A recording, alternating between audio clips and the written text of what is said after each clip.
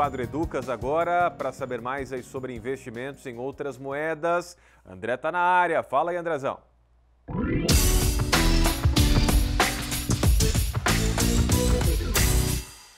Olá, muito boa tarde. Hoje vamos falar sobre a importância de diversificar os seus investimentos em outras moedas e países. Caso você tenha condições, é claro, essa estratégia pode trazer muitos benefícios para você, especialmente considerando a reforma tributária brasileira que está por vir. Muitas pessoas nos procuram com esta dúvida, então resolvemos trazer ela aqui para informar mais pessoas. Este é o objetivo da Educas. Caso você não conheça ainda a Educas, sugiro visitar o nosso Instagram e o nosso YouTube, que é o arroba Educas Educação Financeira. Bem, a diversificação é uma das estratégias mais poderosas para proteger e maximizar os seus investimentos. Ao investir em diferentes ativos, setores e região, você reduz sim os riscos e aumenta as chances de obter retornos positivos em diferentes cenários econômicos.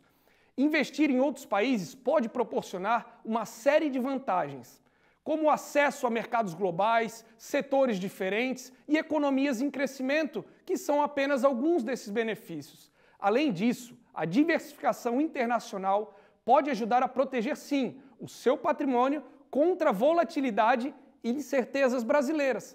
A reforma tributária é um tema de grande relevância atualmente e já sabemos que mudanças nas leis fiscais irão sim impactar os seus investimentos Nesse contexto, investir em outras moedas e países pode ser uma alternativa estratégica para minimizar, assim, os efeitos dessa mudança. Investir internacionalmente não é complicado. Existem diversas opções. Busque por empresas, plataformas e corretoras confiáveis que ofereçam acesso a mercados globais. Esteja atento aos riscos e às taxas envolvidas. Com a reforma tributária brasileira se aproximando, Considerar essa abordagem pode ser ainda mais relevante para garantir a segurança e o crescimento dos seus investimentos. Caso você tenha alguma dúvida, fale com a gente no Instagram da Educas ou em nosso site www.vempareducas.com.br. Até a próxima e sucesso financeiro!